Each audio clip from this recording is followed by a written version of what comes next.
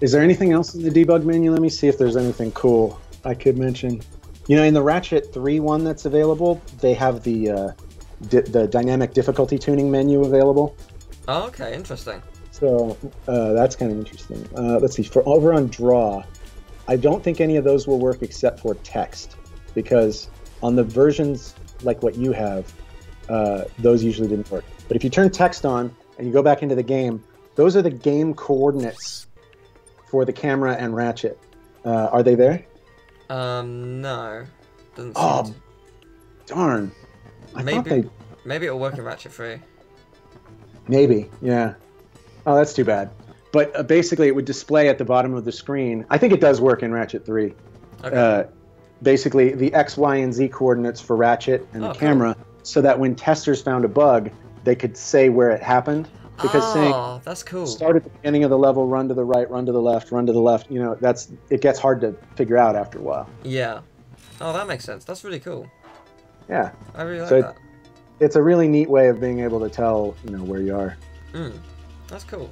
Is there anything else in here you want to see? Uh, what is see. Battle Cam? Oh, to answer a question of yours, if you want to mess with the ammo, there is a button you can hold down to make it go faster. Oh, what is that button? I don't remember. Play like, uh, you know, have it go up and then Oh, actually, if I hold not R2, it goes up There you go. There you go. Yeah, that's how you do it. So you can put your bolts at a tremendous amount. Yes! this is so much more satisfying. Thank you. So now, yeah, that's how you do it, basically. Yay! It gives me 600 at a time. That's worth it. That makes life Uh. much better. Oh, we could play with the fog if you want. Uh, so- yeah, that'd be cool. That menu to the right that says fog in green, Uh, yes. near dist, near int. So near Oh, disk, that's fog. I thought it said pog. it's fog. Yeah, uh, near dist is so basically it's the distance from Ratchet to where the fog should start. So that basically means I think that's half a meter or Okay. something. The in, near intensity is how intense is it when it starts, right? So how is it? Is it like really wispy and, and transparent, or is it thick, right? Right. And then far distance is, you know, how how far until you can't see through it anymore, right? And then the intensity, and then color RGB. That's red, green, and blue color Yeah. for the fog. So if you look, if you turn, say, uh, far dist really down, like turn it down to practically nothing, you know, tw- ten or twenty. Uh, how do I turn it down? Oh, okay. Uh, no, that. There appears to be only one way to turn it down, and that's by L1, and it's really slow. Uh, unless there's a. No, that seems to be the only way. Oh, that sucks. Oh no, wait, no. Try holding down triangle does it. Okay, Okay. there we go. So yeah, get it into like the tens. There you go. Uh, Okay. you don't want it at you don't want it at 0.5. Okay, so uh, 12, 15. Let's go 15. So. Oh, whoa! Yeah, you see. Oh, it's so, So- cool! So on Aquatos, how we had the water, Right. that was just blue fog. Oh, that's cool. So if I Yeah. was to turn up the fog, the blue really, really high. Would- Yeah, and turn down the green and red, So turn that down to basically and then zero. yeah, turn turn the far distance down to basically zero too. Okay. Yeah, I, I think that just crashed the game. did it? Oh crap! Look at that! have- Oh, that that's pink and blue. Uh, Ah! huh. Yeah, okay, maybe we shouldn't have put the far distance down to zero. Um. Uh, I should have a save state. save. Yeah, Uh, oh wait, no, I got it. I got it back. I got it back. Uh, let's put it down to just to 12 again. Oh, there you go. That that works. That was pretty cool. and then if you if you turn the intensity of it up, it will basically all those buildings will just look like blue How do you turn the intensity up? Uh, far intensity, turn oh, that okay, up to some gigantic number. Uh, let's make another save state just in case something goes wrong here. It's always oh, a good whoa. idea. Yeah, you see. Oh, that's cool. It's like a really that's- nice silhouette. Oh, so the- actually, is that how they would do silhouette levels in stuff like Donkey Kong Country? Just turn it all to Uh, black. I don't think they did it that way in Donkey Kong Country. Because but, well, they uh, do it in the, the newer ones, the returns and that i- tropical freeze. Oh, okay. Th- that is a way to do it. Yeah, you just turn the fog up real high like that, real intense. Oh my god, my mind has been blown. It's not even difficult to do. Remember? Like, Do you remember Tur- Turlock Dinosaur Hunter? How how horrible the fog was? Or not Turlock, Turok. uh, I've not. Um, I've Well, seen old- the game. I haven't played it. old games used to be super foggy like this because if you turn this fog up, anything more than 12 meters ahead of you, you don't have to draw. Right. So This is amazing. more efficient. Oh, good. I'm glad you like it. I'm gonna do this with a different color. Try turning on everything else under draw just to see if any of them work, but I don't think they will. uh, let's put it up all green. Let's see what green looks like. So 000 would be black, and all 255s would be white. That's very bright. Yeah. Uh, let's let's say so black. You say so. Uh, yeah, all, all zeros would be black. oh, wow, it's not as dark as I thought it'd be actually. Huh. Uh, So is this how you would make a sort of night effect in some cases? Yes, and they changed the skybox texture to be a night uh, night level. And if, you know, in Orxon, actually, you can go in and play around with the fog, which might be cool because you know I how green fog. Orcs, I don't think Orxon is available. I think it's one Oh. of the ones that crashed. I can check. I think it's not. Well, can you think of another level that had a lot of fog or color like that? I'm just thinking through. Um, Aridia maybe. Aridia, I think Aridia is dark, so you can see a different skybox, but I don't think it has a lot of fog. Right. Um. uh, Let me go. To, I could go to the ship. I could look through. to Where's the ship? Yeah. Uh, let's find the ships. shadow. This is really cool. This is really really cool. Okay, so what? But it's neat because you expose things about sort of how the game was made by playing around with these things and seeing, like when you fly in a building and you see that those things were Lego blocked together, that The, makes more um, sense about how it was made. the like chambers that shoot green gas at you is that done through fog? In No, that's a particle Okay, that's effect. particle effect. Yeah. Umbris isn't Batalia, I don't think is. Oh, Gaspar. Would Yes. Gaspar? Yes, it would totally. I think. Uh, let's save again just in case it doesn't load. Um, Yeah. I'm unsure if this level works or not. Gaspar. Which one was Gaspar? Gaspar was Um, Yeah. It's the orange planet. yes. Okay.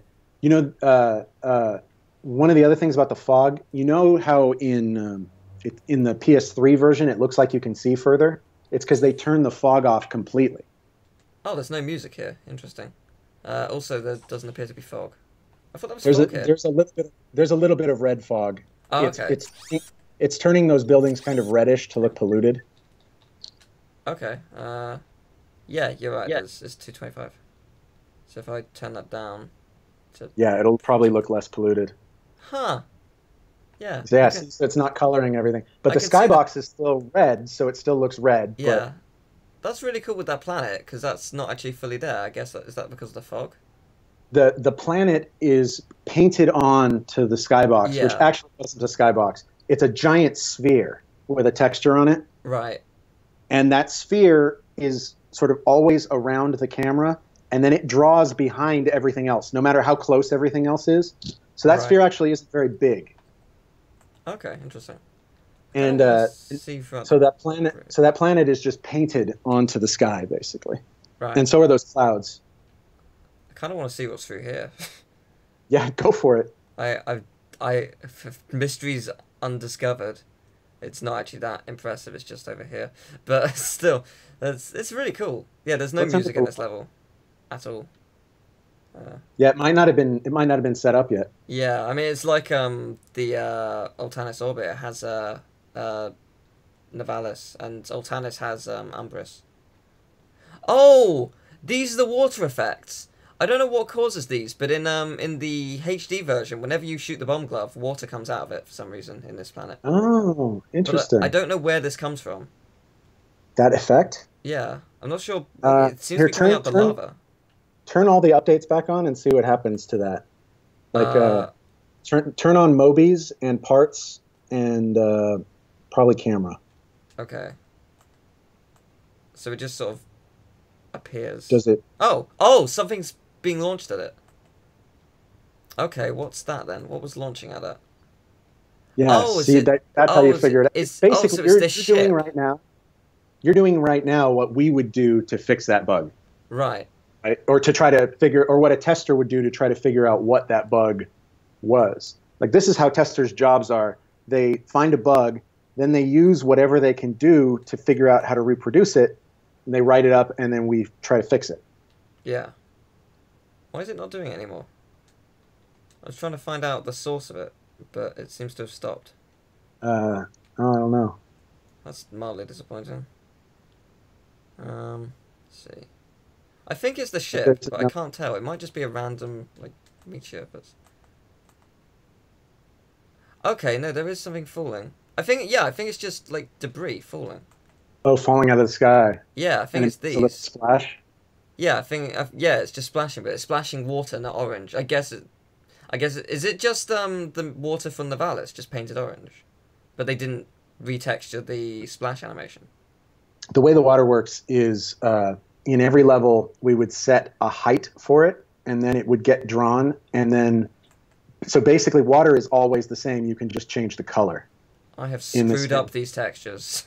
it's pretty cool. This is really cool. I love stuff like this. This looks like a Dalek weapon. Just Oh, it totally does. just pointing that out. just I feel like feel like they're invading the, the new design after Moffat leaves. so this, is this Oh, the man. future? yep. This is the this is dark and dingy and red. This is cool. Um, yeah, I mean, See, I, I could try, I could try Orxon if uh, see if it works, but I don't. I think I was told that's one of the plants that doesn't load. Okay, yeah. If it doesn't load, it doesn't load. But uh, Okay, You know, it but- yeah, maybe maybe you can. Uh, is just two? In Ratchet, you know, I think. Let's see. Uh, is Aquatos before Tyhrranosis in Ratchet Three? Yes. So it, I think it works. I think everything between Veldin and Tyhrranosis works on that build. Okay. That was it was a multiplayer beta apparently, uh, and we had the begin the the first few levels working on it because we were using it for other demo purposes. I thought that was a Protopet for a second inside this sphere. Do you see the teeth?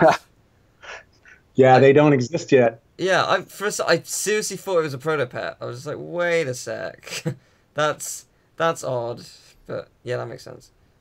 Can you think of anything else that you uh, are curious about with the debug menu? Um, let's see, what is there? Uh, actuator in MISC. What does that do? Um, I have no idea. Let's find out. Uh, let's put control back to Ratchet. Okay. Uh, I don't know. Uh, yeah, I don't know either. It might be a very special case thing, like it might only do something in one level. Right, I see. Um, Uh, add sample, add start. add sample. That's probably a musical thing. What? What? Can you change it? Oh, it's on N, so it probably means no because there's no music playing. Ah, okay, that might be. So it, if I yeah. went to a different planet, I wonder if there would be an N and and an N to turn it off and add start. So start? I'm not sure what that means. Uh, we, in this game, we did have multiple music tracks per level that it would blend between. We didn't do that, Ah, in, yeah. so that might be for that system. uh, Okay. now that I think about it. Uh, Uh, segment in mode. Oh yeah. So that's uh. So basically, when you're in when you're playing Ratchet and Clank, uh, you know how like from the start of, of Metropolis to the left is the the training course, and to the right there's combat to Mhm. Al's Robo Shack, Yeah. and then from Al's Robo Shack there's to the train.